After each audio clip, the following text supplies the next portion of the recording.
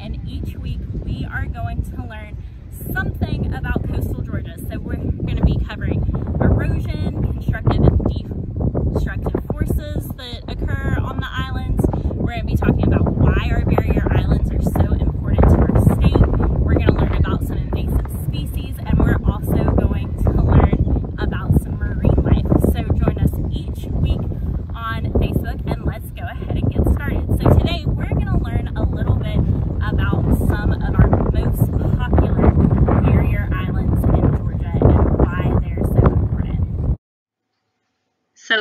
let's talk about what exactly we mean by a barrier island.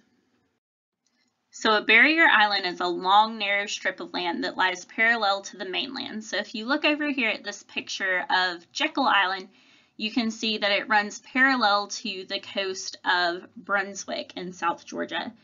Um, it's separated from the mainland by a bay lagoon or a marsh, and our barrier islands protect the mainland from damaging effects, especially from tropical storms and hurricanes, because they're going to give the mainland a buffer from those winds and larger waves.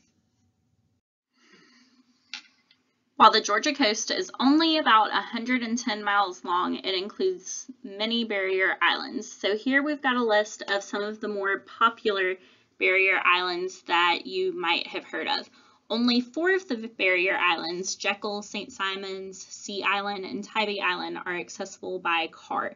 So the other ones you have to take a ferry or some type of boat to get to.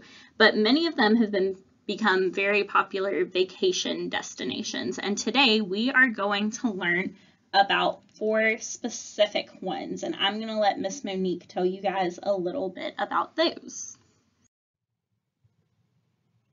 Here we have four of our Georgia's most popular barrier islands. Tybee Island, Jekyll Island, St. Simons, and Cumberland.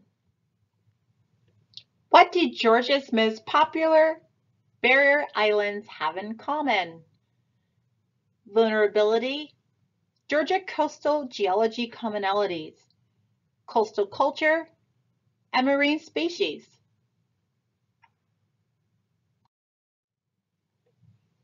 Let's take a look at vulnerability. Coastal resilience of Georgia. In Camden County, Georgia, the Nature Conservancy and their partners are addressing the conditions of the community vulnerability and the risk of flooding via flood risk management and decision support tools. Now let's focus on our Georgia coastal geology commonalities. The coastal sand sharing system consists of the ebb tide delta. Of the following consists of what makes up the ebb tide delta, the alongshore, down current drift of sediment, and the adjacent dynamic beach and the dune system.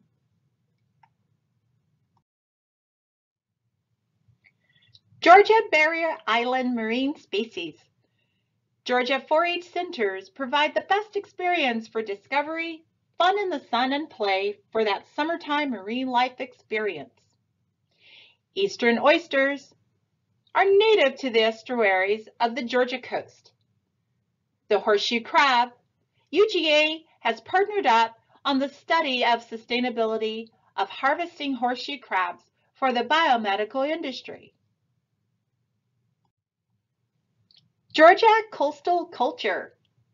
Georgia coastal culture is no stranger to relaxed time on the sandy white beaches. The culture of Georgia Barrier Islands explore into the rich history of its own uniqueness.